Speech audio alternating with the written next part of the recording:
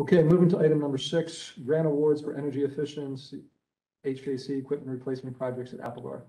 Uh, as you know, we talked last time about the projects at all the schools, and I mentioned at the time that Applegarth, um, wanted to do some further investigation. in.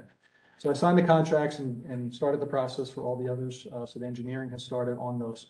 At Applegarth, um, we essentially received grant awards for two boilers and two separate boiler rooms. One is the nineteen thirty-six boiler room, and the other is the eighty-three.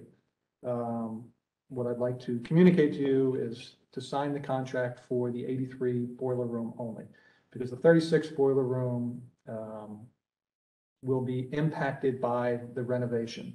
So in other words, you'd be putting a new boiler in a space that's gonna be torn out and, and not utilized.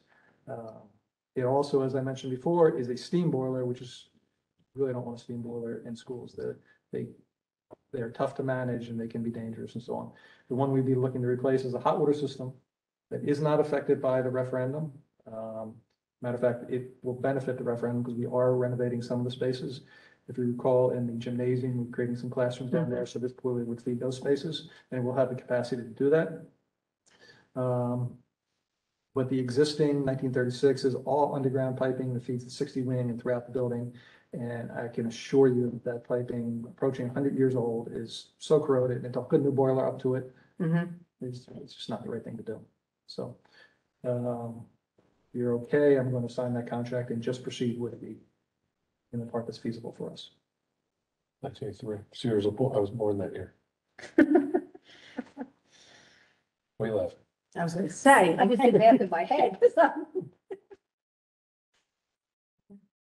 All right.